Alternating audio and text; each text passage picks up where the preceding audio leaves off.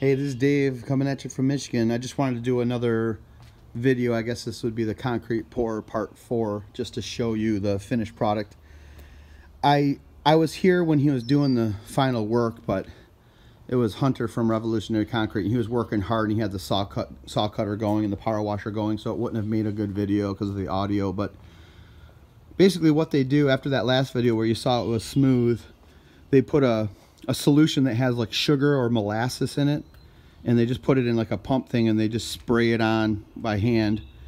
And then once they spray that solution on the concrete that's setting up they covered it with like a thin plastic and then they broom out all the air out of the plastic.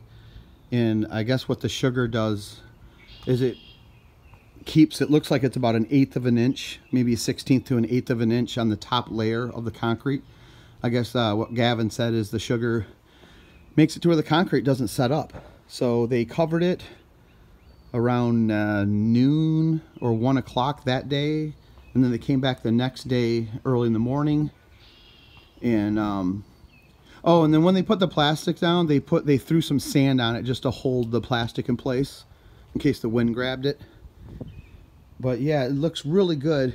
But anyways, the next day they they uh, Hunter came here and he pulled the plastic off, and then he took the power washer. I guess you can use a hose too. You can spray it, but they used the power washer, and um, it just takes the top, uh, like the actual Portland cement out of there, and it leaves the uh, the actual piece P rock, and it it makes like for a.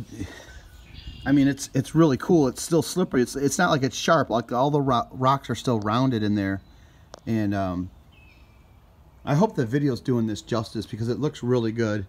And they just, and then after he power washes it, he did his uh, control cuts where they, they actually put a lot of cuts like here, here, back, and then one out through here um, between the, the posts inside.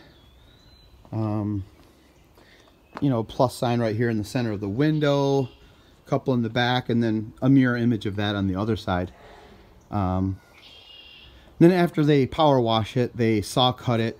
And then um, after he saw cuts it, he power washes that off to get rid of the, all the dust from the saw cutting.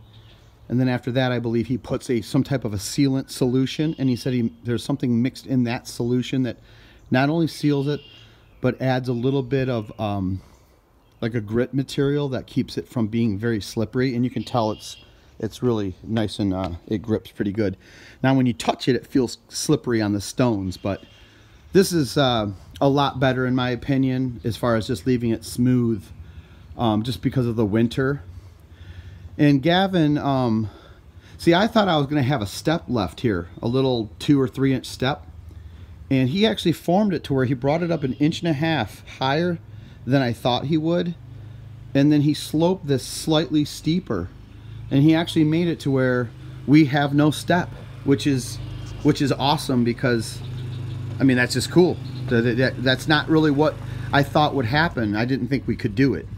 So he actually pulled that off. And to me I could be wrong but it looks like they actually from the front door to the front here it's steeper and then it, flan it, it kind of fans out each way to where that right there isn't as steep as in front of the door.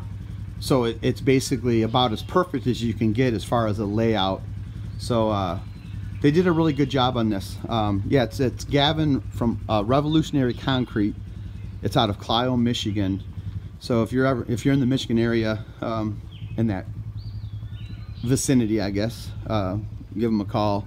Probably just find his number on uh, online. But anyways, yeah, they came in. They did a good job he'll definitely be coming back and doing some steps once we have the house built and start doing landscaping. I'm having some nice steps. I'll have him give me a couple ideas. I think I'm by the time the finished grade's done here, there's gonna be like maybe two steps and then I'm gonna swale out like a curve with a sidewalk to kind of mimic the shape of the house, go like that way and then this way.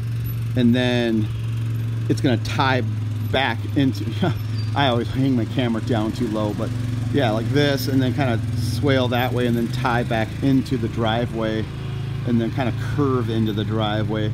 And the same thing on the porch back by my daughter's bedroom, um, have like a walkway that ties back on the other side of the garage into the driveway. So from an early stage, I think uh, it'll it'll look cool. I can kind of envision what the landscaping and stuff will look like when this is all done. But anyways, just wanted to show you what it looks like. I hope this video is showing it good.